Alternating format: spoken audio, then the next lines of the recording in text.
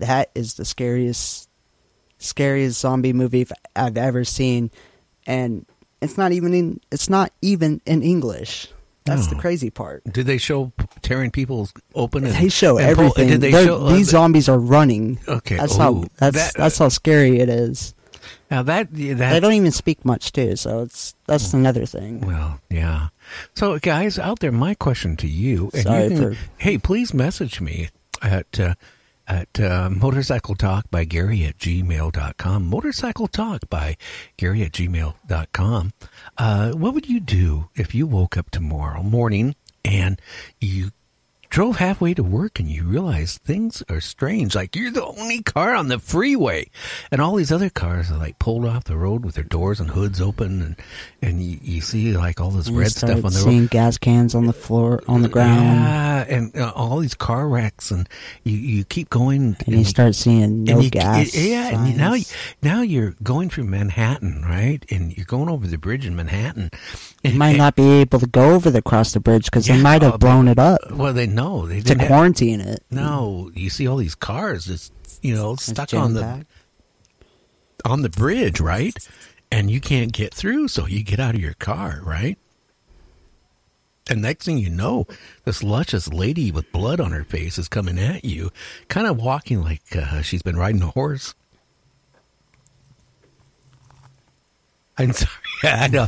I, I almost lost that one. Uh, and and you realize that she's a zombie, you know, Eh, but you don't realize it because you don't realize there's zombies running around. So she's you try she- to help her, yeah, and then all of a yeah, sudden, she's trying to bite you in the neck and bite your arm and Mm. tear the, your flesh off you. What do you do? I mean, you, do you jump off the bridge? I know. Look, wait a minute. Now you- notice right there on the side of the bridge on one of the girders, it says, "In case of emergency, drive off the bridge." now, I I always wondered, do you drive off the bridge? Like you just.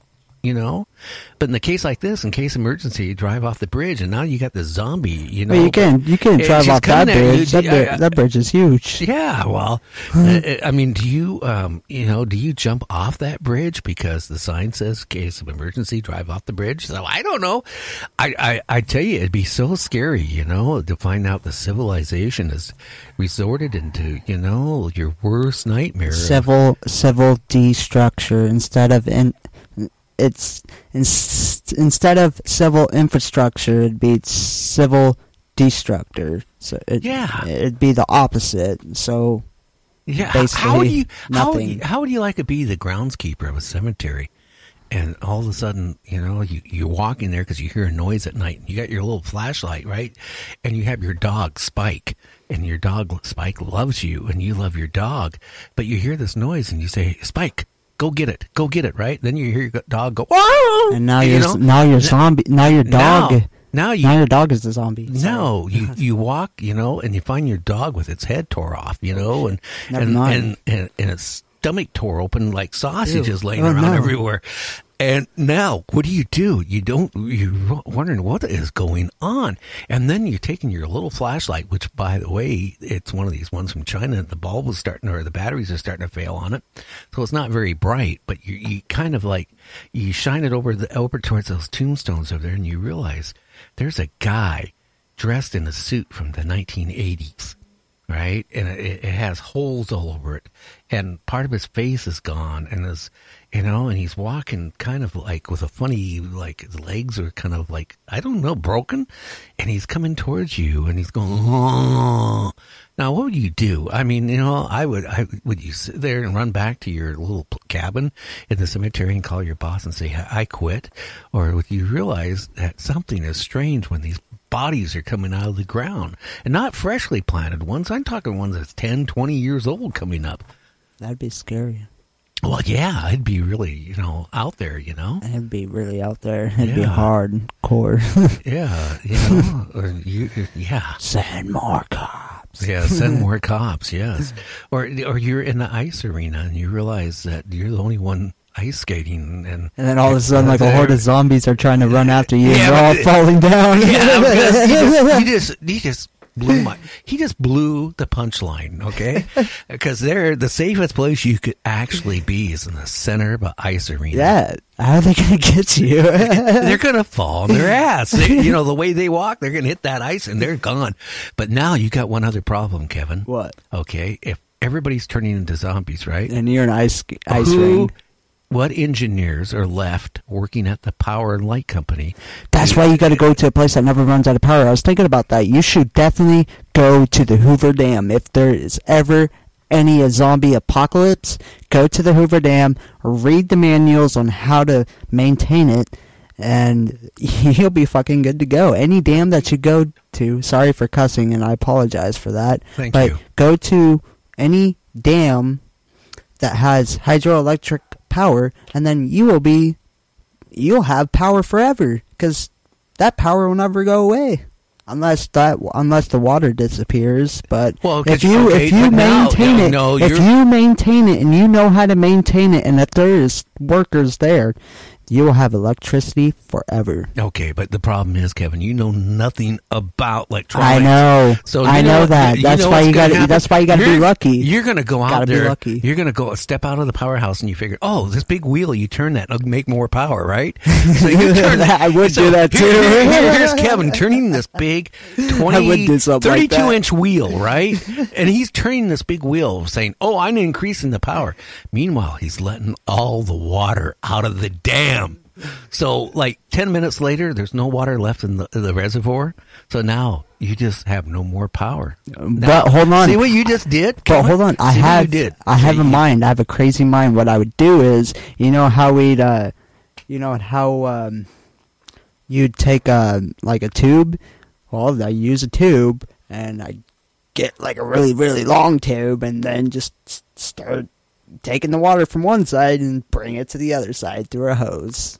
Yeah. Somehow, I don't know. You know what I would do? I would I would hijack a submarine. A submarine. Oh, oh one Yeah. of those nuclear nuclear Yeah. submarines. Okay, you know what I do? Yeah, They- that's actually you- not bad. Yeah, you, you you know you can go and stay underwater for you know like a But you year. gotta figure out how to work those, though. You go Oh, down you too just, far. You just go. You just go. You know, and push that button there. Go you- dive, dive, yeah, dive. yeah, you know, I watched. You know, Silent Service. That was a, a TV show back. It was made in the fifties about submarines. I I know all about submarines. You get in the submarine. You make sure you close the hatch. Yeah, that's the If first you- thing. okay, because if you don't close the hatch and you dive, okay, No, gonna- you won't die first. You'd flood, and you go hit the bottom, and then you die a slow, I painful I, death. I didn't pressure. say die. I said you dive. You Oh, dive the submarine, and then you left the hatch open. Oh, I you you know, die. Yeah, that's But you very. die, though. That's a bad way to uh, uh, die. High Uh, pressure and a lot of water coming in. Ooh. Yeah, and then you know you, you lock yourself into like one of the rooms, waterproof rooms. You realize there's zombies in it. You're talking about the zombies that you just went in, or the the zom- They were the submarine that the you went in, The crew. There was a couple crew members that didn't get out of the sub. and now they're zombies. They're zombies. Now you're trapped. What do you do? Okay, you, if you open Fight that door, that hatch, okay, that waterproof room, you flood it, you're dead, right? Or what do you do? I know what I would do. There's a torpedo. I would sit there and find the biggest wrench I have and hit that front of that torpedo hard as I can and get rid of the, the uh, zombies. But where are you at? You're just in a waterproof room. How would you hit a torpedo? I because it was a torpedo room. Oh, Okay, and there's this big torpedo laying there on the rack. Okay, so now I'm sitting there, right, and there's zombies want to eat me. So now, so uh, uh, boy, uh, him and that microphone was dangerous. So now right? I t- about uh, he's bumping it and, and and vaping in front of it and making all this noise. So now you take this big wrench, right, and they got these zombies that are trying to bite you. You figure, okay, guys, I'm gonna get rid of you. You d- you're so stupid. You don't realize when you hit that front of that torpedo, you're gonna create the biggest blowjob in the world. You're gone. You blown up the ship. You're gone. You yeah, you took out a couple of zombies, but you just killed yourself. Not a good plan. You know what I would do? I would do one step better than you, Kevin. What's I, that? I wouldn't take that big wrench and I wouldn't hit that tip of that that torpedo. You said you would. No, I'd change my mind. I'd realize I would take that wrench and hit the zombies in the head. Oh, so you wouldn't make it more complicated for yourself. Yeah, well, you know, two zombies in the head. I don't know. Um, it's just one of those strange days. So Uh, yeah, yeah, exactly. yeah. But One of those. Yeah, it happens when. Unless you want to see a big explosion, then just hit the yeah. torpedo. If you want to not see an explosion, just take the wrench and pop him in the head. You got Yeah. two uh, stories and two outcomes that could happen. I, I, that I- is two paranormal events that could happen, two possibilities. This is what happens when you only have a guest for one hour. You got an hour to kill and you have nothing planned. Okay. So now, okay, you're out. What, what, else could you do about zombies? Okay. You wake up in the hospital and you realize that uh, everybody's been, or a nursing home. Could you imagine zombies from uh, these 80 year old 80 year old zombies? I mean, it, okay, put it this way. How many 80 year old zombies, if they bit you, are going to draw blood? Okay? Because put it this way if they're in the nursing home, most likely after they turn into a zombie, they're not going to be smart enough to take their false teeth out of that glass of water next to their bed. So they're going to be no teeth. So they're going to be out there. The worst they could do is gum you. So, you know, what can I say? So, anyway, um, zombie movies I I think are exciting. Uh, Could be better. could be better. I, I like The Walking Dead. I watch it every week, you know? I, I- just, my main pet peeve with it is like, how did they originally start? Why don't they starve at death? Okay. And, you know, uh, if you didn't like somebody, you could always feed them to a zombie. Hey, Kevin, you want to go for a ride tomorrow on our bikes? I know Yeah. this. Yeah, zombie area. Um, you know, yeah, you know, maybe maybe what the military might do is round up all the zombies, right? And and create a neighborhoods and put signs up, beware of the zombies. And let the zombies just roam around in their neighborhood. They probably would never get out of their neighborhood very often. And if they do, then they, they, they shoot them in the head and they're gone. But these zombies don't realize anything, so they're just going to walk around, you know. And the helicopter comes by, right, and and and and drops off a whole bunch of uh, uh, hot dogs uh, twice a day, and they're happy, you know, getting down their knees and eating these hot dogs. Yeah, you're talking about feeding the zombies. Yeah, feeding the zombies that that would be a good way to you know take care of the situation. Just put them in the area and quarantine them. And, and, the and question is, how are you going to put them all in that area? well, that's where you would come in handy. Oh. Okay, we would have you walk through that area with a uh, uh, with a great big sausage uh, or a hot dog attached to the back of your coat without you realizing it.